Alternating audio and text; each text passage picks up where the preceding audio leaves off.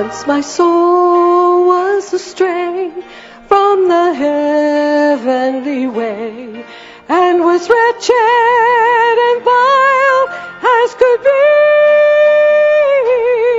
But my Savior in love gave me peace from above when He reached down His hand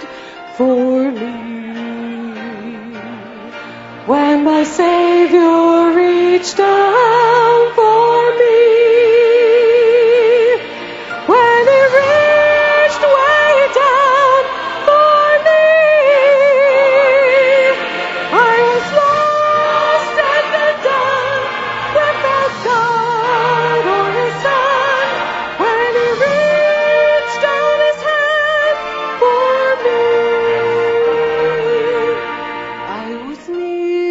to despair when he came to me there, and he showed me that I could be free. Then he lifted my feet, gave me gladness complete.